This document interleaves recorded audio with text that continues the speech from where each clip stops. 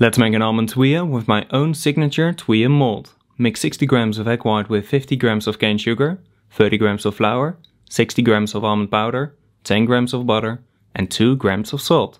Blend this till smooth. Once smooth, transfer it on the tuile mold and spread it using a palette knife. Then bake it at 150 degrees Celsius for around 15 to 20 minutes till golden brown. Now when still hot, directly remove them from the mold to prevent the tuiles from breaking. The mold is a collaboration with my friends from Mold Brothers. Find it on their website and find a full tutorial on my YouTube channel, Jules Cooking.